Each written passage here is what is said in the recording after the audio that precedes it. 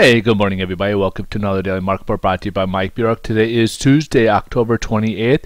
Uh, we got a few economic news releases to go over today. We'll start off with the durable goods orders for the month of September.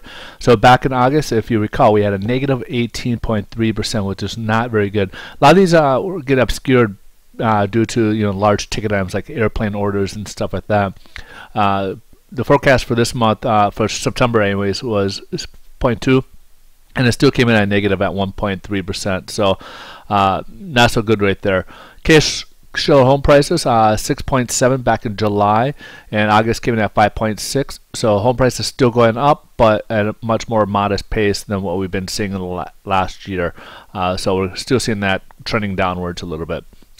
Uh, consumer confidence, uh, we had 89 on the reading back in uh, September. October was supposed to pull back the forecast, and actually it was the best number we've seen in about seven years at 94.5 for the month of October. So that means basically people are feeling much more comfortable where uh, the economy is heading, where wages and everything else.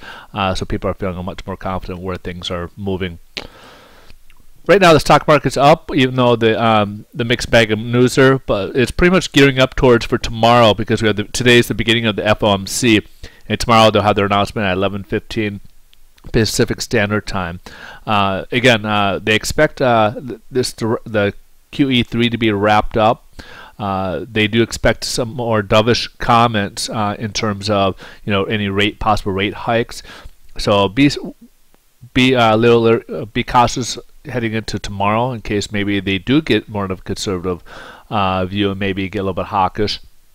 That might indicate possibly uh, uh, raising rates sooner than expect. So that could, uh, you know, uh, create a little havoc in the markets.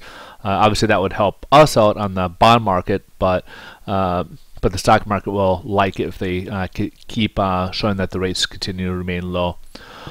Meanwhile, in the uh, bond market, we're down about uh, three basis points. So we're um, we do have a little bit of worse in pricing uh, when you factor the two days here because we went down yesterday as well as today. So if you look at from where we left on Friday, we're down a little bit. Uh, as from yesterday, not really enough to make a difference in our pricing. All right, so thanks for watching, folks. I hope you guys have a wonderful day. Tomorrow, again, uh, will be the big day with the FOMC announcement about 11 Pacific Standard Time. Uh, so this that'll be the big um, news uh, for this week, and see what the wording does. So they do expect. Remember, they will expect uh, the quantitative easing to be wrapped up, and uh, there's going to be a phrase, and they're going to be watching carefully the considerable in terms of watching the interest rates in considerable time. So if any of those things changes, any surprises, uh, expect um, a lot of volatility. All right, thanks for watching, folks. Hope you have a wonderful day, and we'll look forward to seeing you guys tomorrow.